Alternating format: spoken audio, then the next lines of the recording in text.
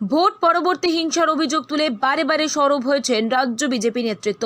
একুশে নির্বাচনের ফল ঘোষণার পর থেকেই বারে বারে আক্রান্ত হতে হয়েছে বিজেপি কর্মীদের। বহু মানুষ আজও ঘর ছাড়া, এমনটাই অভিযোগ।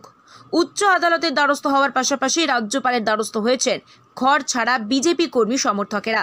এহানো পরিস্থিতিতে মহামান্য উচ্চ আদালতের রায় দক্ষিণ চব্বিশ পরগনা, সোনারপুর, খেয়াদা, দুই নম্বর গ্রাম পঞ্চায়েতের রানা ভুতিয়া পাড়া এলাকায় পরিদর্শনে গেলেন মানবাধিকার কমিশনের একটি দল। কমিশনের আট সদস্যের দলের সাথে ছিলেন বিজেপি নেত্রী প্রিয়াঙ্কা টিবরেওয়াল।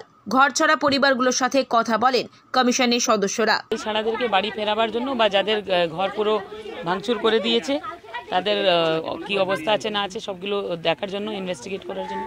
আর সত্যি কথা আছে যা সত্য আছে, সেটা আপনি আমরা মানুষকে দেখান, আওয়াজ তুলুন। দেখুন, যখন কেউ না কেউ সবাই এখানে মিলে একসঙ্গে আওয়াজ তুলবো, তাহলে এই সরকারকে কিন্তু মানতে হবে যে হ্যাঁ ভায়োলেন্স হয়েছিল। তিন মাস, দশ দিন ঘর ছাড়া ছিলাম। মারধরও খেয়েছি, সব কিছু বাড়িঘর ভাঙা কিছু লুটপাট কিছু ছিল না, পুরো শ্মশান।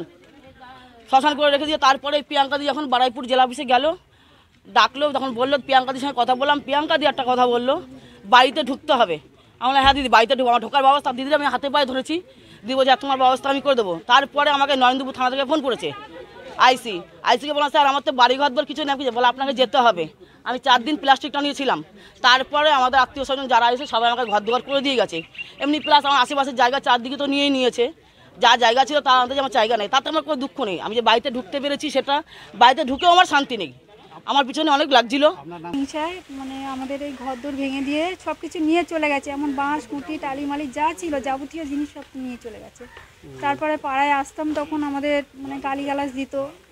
এখনও গালিগালাজ দেয় কিন্তু পুলিশ নরেন্দ্রপুর থানার পুলিশ এসে আমাদের এখানে ছেড়ে দিয়ে গেছে। বলে এখানে আপনারা থাকেন যাক আপনারা আমরা কি ঘর ভেঙেছি? আপনারা থাকেন এখানে পলিথিন টানিয়ে হোক, যেভাবে হোক, আপনারা, আপনাদের জায়গায় ছেড়ে দিয়ে গেলাম, আপনারা থাকুন এখানে। দক্ষিণ চব্বিশ পরগনা থেকে বাবলুক প্রামাণিকের রিপোর্ট, টিভি নিউজ টেন।